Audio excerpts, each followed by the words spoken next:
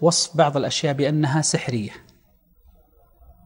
لا بأس إذا كانت هذه الأشياء آه، فيها من قوة التأثير ما آه، يوصف ب بمثل هذا فلا بأس. مثل قول النبي صلى الله عليه وسلم إن من البيان لسحرا هذا آه، للعلماء فيه قولان منهم من يقول إنه منه سحر يقلب الحق باطلا.